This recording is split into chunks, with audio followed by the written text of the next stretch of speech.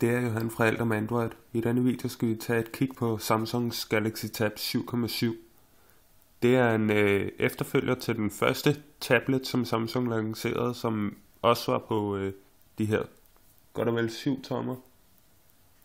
Dengang blev tabletten dog kritiseret noget, fordi at det sy- øh, styresystem, som lå på, ikke var optimeret til tablets. Det var øh, blot øh, ren øh, gingerbread med små modificeringer fra Samsungs side af. Men nu er det altså Honeycomb, der er på, og dermed er systemet optimeret til at køre på tablets.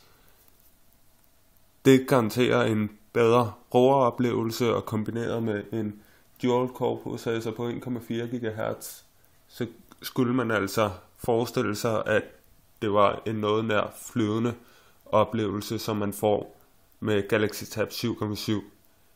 Det er desværre bare ikke tilfældet, og det skal vi tage et kig på i denne video, hvorfor det er tilfældet.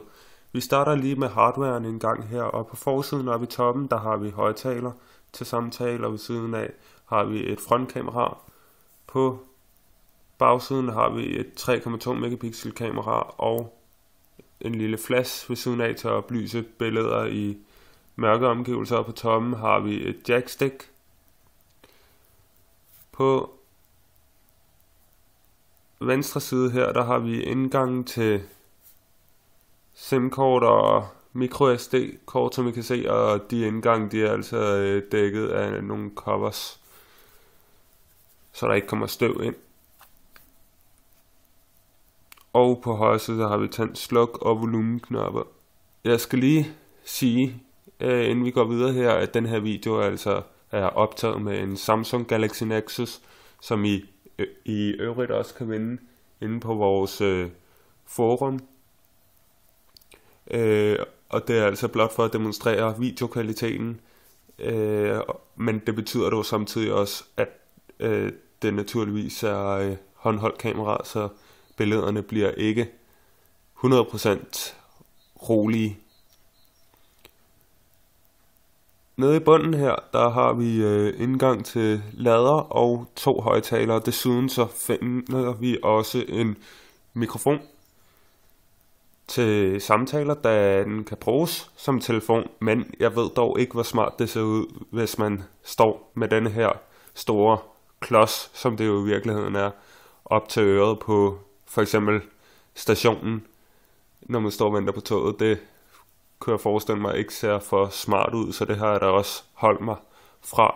Men har man derimod et headset eller mulighed for at sætte den på højtaler, så er det en meget smart funktion.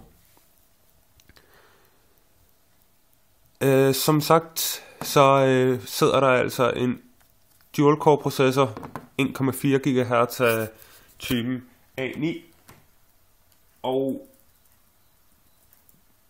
Inden i tabletten, der finder vi også et batteri på hele 5100 mAh, som øh, sikrer os ifølge Samsung øh, batteritid på op til 34 timer øh, rundt regnet, øh, når den er i brug, eller godt og vel 20 timer, når den bruges med 3G netværk, som den nok hovedsageligt vil blive brugt med her i Danmark. Standby-tiden er på 1100 timer med 3G-netværk. Hvis vi lige prøver at tænde den en gang, så vil I se, at det er det velkendte honeycomb, man mødes af, og det er altså med den her ring, hvor man lige skal tage fat, og så trækker man tingene siderne, og så låses den op. Og øh, så er det ellers det samme interface, som også er på Galaxy Tab 8.9 og øh, de andre tablets fra Samsung. Det vil altså sige, at det er uden ice cream sandwich, men Samsung har dog lovet, at Ice Cream Sandwich skulle komme her i slutningen af marts, og det vil altså sige, hvis det holder stik, så skulle det gerne være, ja, senest på søndag, at det kommer. Men jeg har desværre ikke mulighed for at teste med nye opdatering, da jeg skal sende øh, tabletten tilbage her i dag.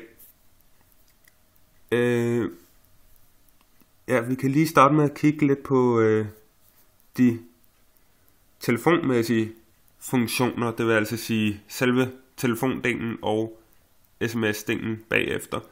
Der er ikke så meget øh, lige over det her, det er altså bare klassisk øh, numerisk tastatur, man mødes af, og øh, der er altså også mulighed for at foretage videoopkald, og det er jo ganske smart med videoopkald til, ja, hvis man skal lave noget videokonference.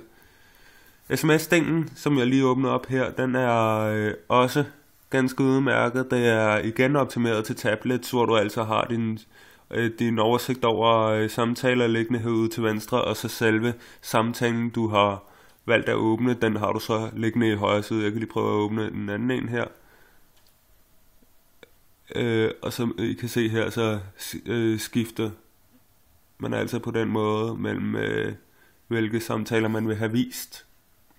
Nede i venstre hjørne, så finder vi de her øh, software-knapper, der er tilbage hjem. Øh, ja, jeg vil kalde det multitasking øh, knappen, da den ligesom bringer en, et overblik over, hvilke programmer man har åbnet. Desværre så har den altså ikke den her ice cream funktion, ice cream sandwich funktion med, at man øh, swiper og så kan lukke. Men den kan dog trods alt give en et overblik over, øh, hvilke programmer man er kørende. Og lige til højre for den, der finder vi en knap til at tage screenshots. I midten har vi en, øh, en pil, som I kan se her, som frembringer øh, hurtig genvej til programmer. Det vil altså sige, hvis jeg for eksempel ønsker at gå ind i musikafspilleren, så trykker jeg bare der, og så får jeg en lille musikafspiller frem. Oppe i venstre hjørne er der dog en pil, jeg kan trykke på, og så kommer jeg ind i den deciderede øh, musikafspiller, hvis det ikke var nok for mig blot at have den lille udgave liggende. Nede i højre hjørne, der finder vi så øh, den her hurtig indstillings menu, som øh, vi kender fra andre Honeycomb enheder også, øh, hvor jeg lige hurtigt kan få en oversigt over, hvilke notifikationer jeg har, øh, og hvor meget batteri der er tilbage, og som I kan se, så kan jeg også se, hvilket trådløst netværk jeg er tilknyttet. Fra denne her menu kan jeg dog også tilgå indstillinger, og på Galaxy Tab 7.7 så ser tingene altså lidt anderledes ud herinde i indstillingsmenuen til forskel fra øh, Galaxy Tab 8.9 og 10.1. Øh, det er altså lidt anderledes system, der ligger på, men det skyldes altså også, at, øh, at det er en af de nyere øh, tablets fra Samsung, så de har haft lidt tid til at, til at optimere det hele lidt.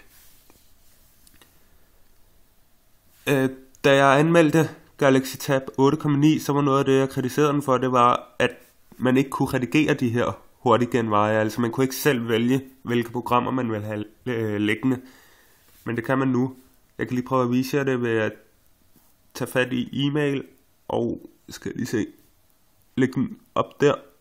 Og så røg den altså fra oversigten øh, hernede og op til den øh, oversigten over, hvilke miniprogrammer, jeg kan lægge ned i øh, oversigten, jeg får vist, når jeg trykker på pilen. Så det er ganske let at redigere i det. Desværre så er det dog ikke muligt, at hvis man for eksempel har alt om Android-appen installeret, så kan man altså ikke lægge den ned i øh, oversigten over miniprogrammer. Det er lidt ærgerligt, men det er dog trods alt en øh, forbedring i forhold til Galaxy Tab 8.9. Jeg startede med at sige, at øh, det ikke var en flydende oplevelse, man havde her med Galaxy Tab 7.7, og det kan ses, når man foretager sig noget så enkelt som blot at scrolle imellem hjemmeskærmene. Det hakker altså gevaldigt, og det var altså også noget af det samme, som vi så med Galaxy Tab 8.9.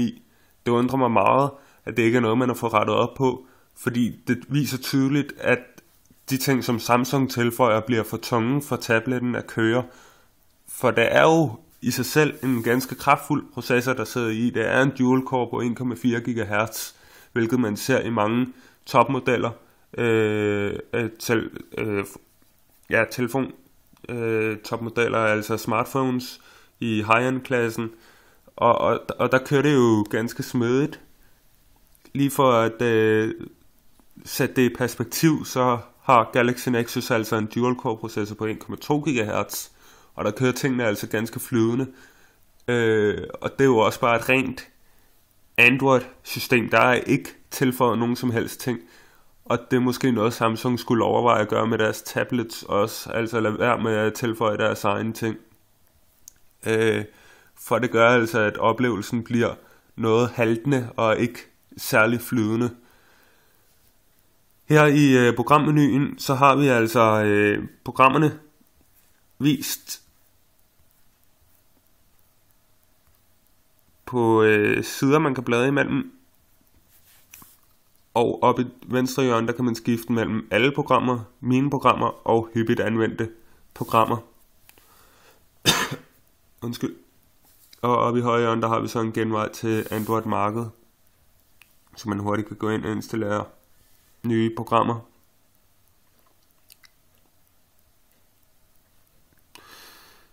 At hastigheden ikke er super hurtig, det kan også ses på internettet. Jeg prøver lige at åbne op der. Skulle meget gerne gå i gang med en læse alt om Android, det gør den også.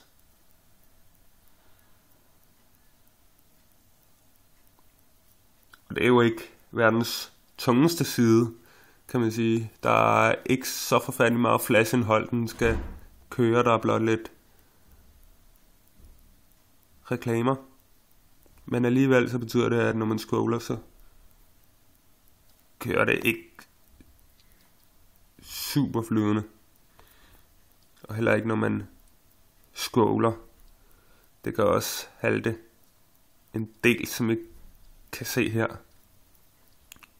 Og det er meget frustrerende, når man trods alt har betalt rimelig mange penge for en tablet, så bør man altså kunne forvente, at tingene kører ja, flydende. Især når det er en af de nyere tablets, som, øh, som er Galaxy Tab 7.7 her. En, en ting, jeg ikke helt forstår, det er, at man har denne her øh, screenshot-knap nede i øh, venstre hjørne. Øh, for den er ikke til andet end gene.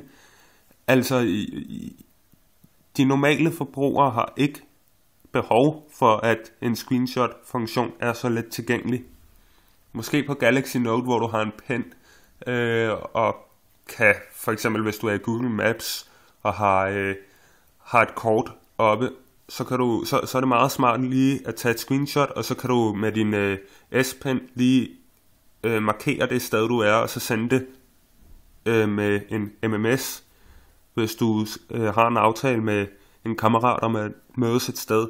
Men her på en tab, der virker det altså bare overflødigt. Øhm, og end ikke på Galaxy Note er øh, screenshot genvejen så let tilgængelig. Og det er frustrerende, fordi at man let kommer til at ramme øh, den knap i stedet for den knap, som den knap herover, som bringer en et overblik over, hvilke programmer man har åbnet. Så ja, det er irriterende, fordi hvis man så kommer til at ramme den ved et uheld, så tager den jo et screenshot, og ikke nok med det, så får man altså også screenshotet op her, og som I kan se, så kan man tegne, men ja, det er bare, der er ikke, der er ikke brug for den knap her der, så det er noget, jeg gerne ser, at de ændrer. Batteritiden er ok, nu kan I se her, den er altså ligget på standby, mere eller mindre, i øh, 96 timer, og der er stadig 39% tilbage. Så batteritiden er mm, okay, jeg vil sige, bruger man den, som man bruger sin telefon, det vil sige med synkronisering slået til, og man surfer en del, og, og hvis man bruger den ovenikøbet som en telefon, som der jo, der jo er mulighed for, jamen, så tror jeg, at den holder ligesom en smartphone i en dag, måske halvanden med lidt held. Så det er ikke super imponerende batteritid, men det skyldes nok, at skærmen er så stor. Så skal der altså et ordentligt batteri til for at kunne holde den i mere end to dage. Øh, alt i alt vil jeg sige, at Galaxy Tab 7.7 er et frisk pust, da den ligesom brøder mod de klassiske normer for, hvordan en tab skal se ud rent størrelsesmæssigt. Og prisen taget i betragtning, jeg skal lige skynde mig indskyde, at denne her skærmstørrelse, det, det er faktisk en ganske fin størrelse. Det gør, at den er let og hurtig at sidde med, og den er meget velegnet til surf, hvis oplevelsen med internettet var bare en lille smule bedre. Men for at vende tilbage til min konklusion, så alt i alt med prisen til betragtning, og, øh, og de minuser, jeg var inde på, det vil sige ikke en særlig flydende oplevelse, det gør, at, øh, at vi, ja, jeg kan ikke svinge mig op på mere end 5 ud af 10 stjerner. Det vil altså sige, at hvis Samsung skal gøre noget, så skal de virkelig tage sig sammen for at kunne konkurrere mod øh, tablet som Asus Transformer Prime, som vi også er ved at teste, og som I kan finde en unboxing video af inde på vores YouTube-kanal, og senere hen også en decideret anmeldelse. Og ellers så husk at følge med ind på vores øh, internetside, altomandroid.dk, hvor I lige nu kan deltage i en konkurrence om en Galaxy Nexus, som denne her video var optaget med. Og I kan også følge os inde på Facebook, Twitter og Google+. Til sidst vil jeg blot sige tak fordi du så med, og vi ses igen snart.